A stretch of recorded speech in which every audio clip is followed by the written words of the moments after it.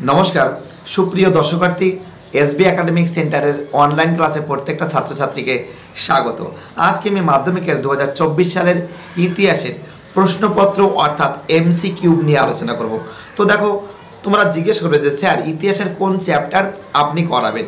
তো দেখো, ইতিহাসের কিন্তু আমি প্রথম অধ্যায়, অর্থাৎ ইতিহাসের ধারণা।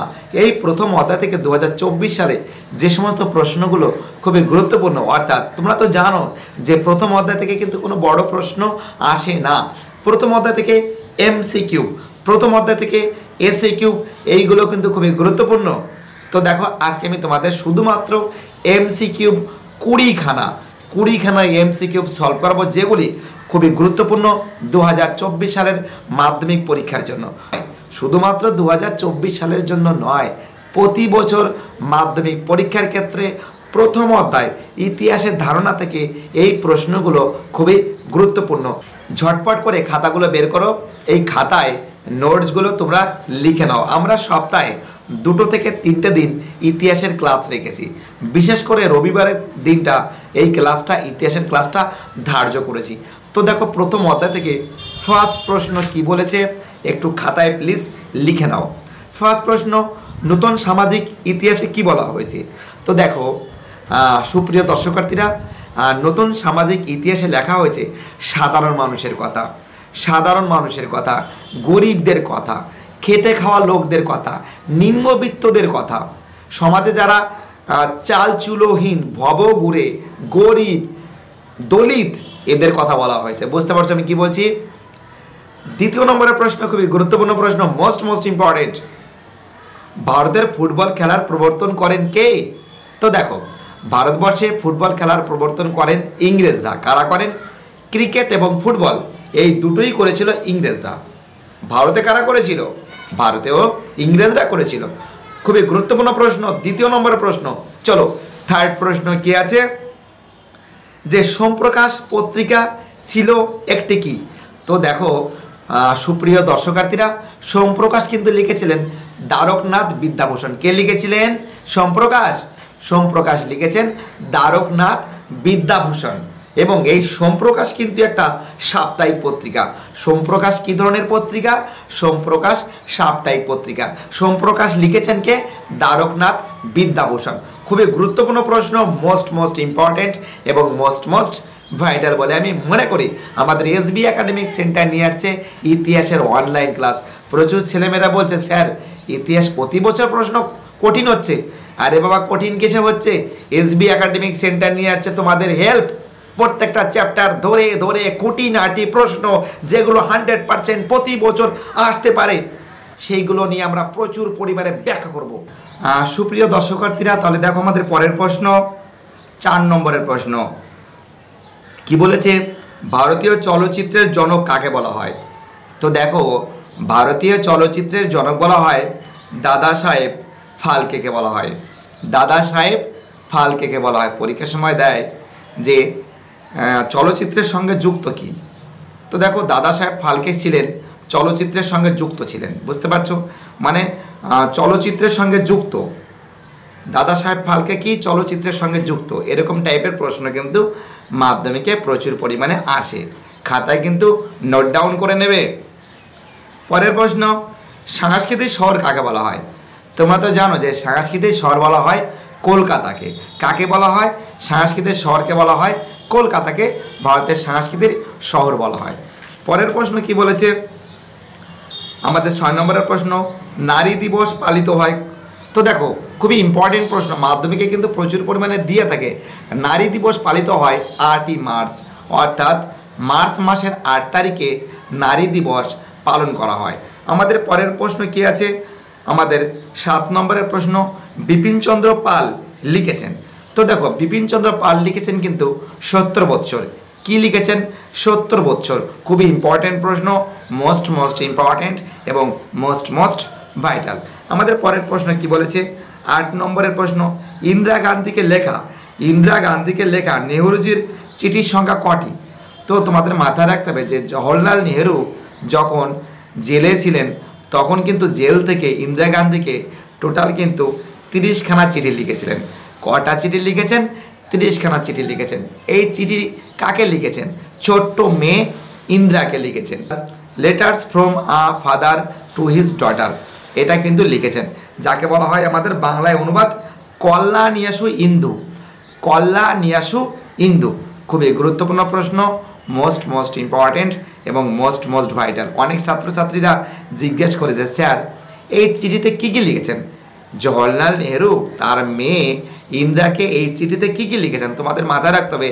ভারতবর্ষ সম্পর্কে লিখেছেন, রামায়ণ সম্পর্কে লিখেছেন, ভারতবর্ষে আর্যরা কী করে আক্রমণ করে সেটা লিখেছেন, ধর্ম সম্পর্কে লিখেছেন, জাতি সম্পর্কে লিখেছেন ইস্ট ইন্ডিয়া কোম্পানি ঠিক আছে, সারা বিশ্ব সম্পর্কে, অর্থাৎ তাকে ছোট্ট মেয়ে নয় থেকে আট নয় দশ বছর বয়স হবে, তাকে সব কিছু সে যেন জানতে পারে, সে কি কি দিক থেকে জানতে পারে এবং তাকে কি কি জানানো যেতে পারে, সেইগুলো সম্পর্কে তাকে কিন্তু অনেকটা নলেজ দিয়েছিলেন এবং তিনি জেল থেকে এই তিরিশখানা চিঠি লিখেছেন, তার মেয়ে ইন্দ্রাকে। ঠিক আছে? তো দেখো, এই এই যে যে চিঠিটা লিখেছেন, এর হিন্দিতে ট্রান্সলেট কে করেছেন? এর হিন্দিতে ট্রান্সলেট করেছেন মুন্সি প্রেমচাঁদ। কে ট্রান্সলেট করেছেন? মুন্সি প্রেমচাঁদ। তো দেখো, বঙ্গদর্শন পত্রিকা প্রকাশিত হয় কত সালে? তোমাদের মাথায় রাখতে হবে যে বঙ্গদর্শন আঠারোশো বাহাত্তর খ্রিস্টাব্দে প্রকাশিত হয়।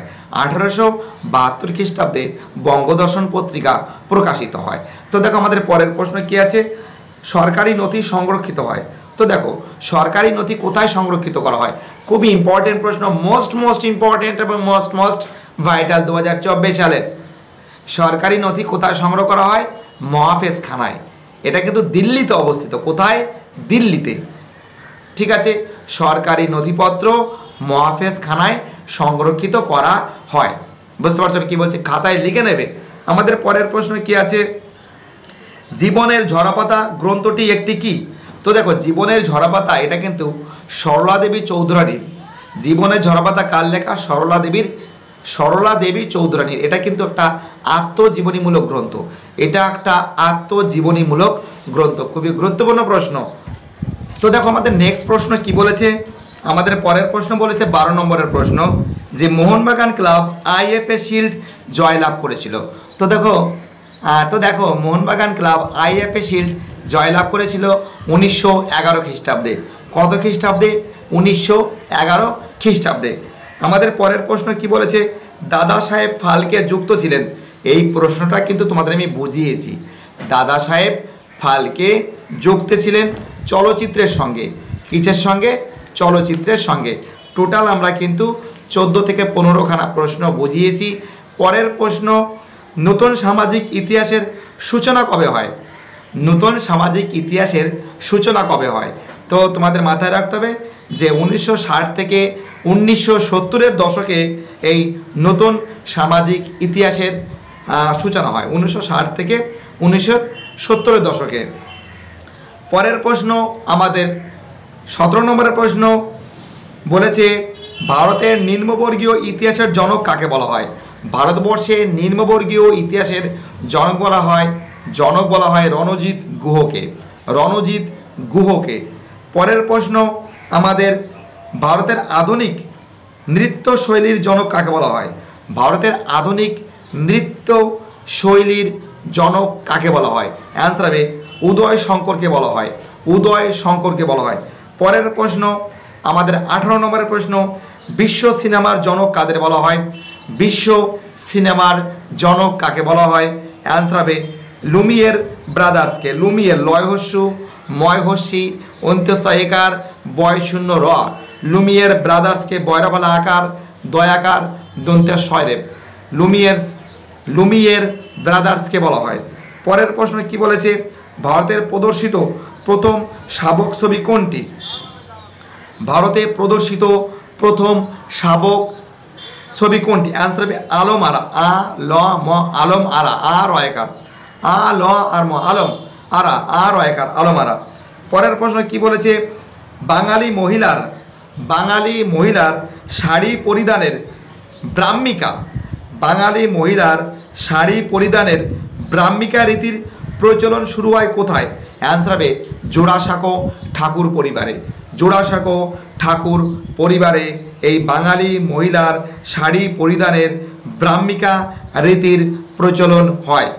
আমাদের পরের প্রশ্ন আমাদের কুড়ি নম্বরের প্রশ্ন মোহনবাগান ক্লাব আইএফএ শিল্ড জয়লাভ করেছিল কত সালে? তো তোমরা তো জানো যে মোহনবাগান ক্লাব আইএফএ শিল্ড জয়লাভ করেছিল। জয়লাভ করেছিল উনিশশো এগারো খ্রিস্টাব্দে। পরের প্রশ্ন সৌ কোন রাজ্যের জনপ্রিয় নাচ? তো দেখো, ছৌ পশ্চিমবঙ্গের জনপ্রিয় নাচ। খুবই ইম্পর্টেন্ট আর সাইলেন্ট স্প্রিং কার লেখা? সাইলেন্ট স্প্রিং হচ্ছিল রাচেল রয়জফলা আকার চয়কার ল রাচেল, কারসান কয়াকার রকার দন্তের স আন্ন রাচেল, কারসেনের লেখা। এবং কোন পত্রিকায় সর্বপ্রথম বন্দে মাতরম সঙ্গীতটি প্রকাশিত হয়? অ্যান্সার হবে বঙ্গদর্শন। অ্যান্সার কী হবে? বঙ্গদর্শন হবে। তো বুঝতে পারছ, সুপ্রিয় দর্শকার্থীরা, আজকে আমি মাধ্যমিকের ইতিহাসের, ঠিক আছে, প্রথম অধ্যায় থেকে যে সমস্ত প্রশ্নগুলো আসতে পারে, সে সম্পর্কে আমি বিস্তারিত আলোচনা করেছি। ইতিহাসের ধারণা থেকে কমসে কম তোমাদের আমি কুড়িখানা প্রশ্ন বলে দেওয়ার কথা ছিল, সেখানে আমি বাইশ থেকে তেইশখানা এমসিকিউ প্রশ্ন নিয়ে বিস্তারিত আলোচনা করেছি। বাকি প্রশ্নের অ্যান্সার খুব শীঘ্রই আমি আলোচনা করব। ভিডিওটি দেখার জন্য এসবি একাডেমিক সেন্টারের তরফ থেকে প্রত্যেকটা ছাত্রছাত্রীকে জানাই অসংখ্য ধন্যবাদ। সুস্থ থাকো, ভালো থাকো চ্যানেলের সঙ্গে যুক্ত থাকো। এটাই আমার একান্ত অনুরোধ তোমাদের কাছে।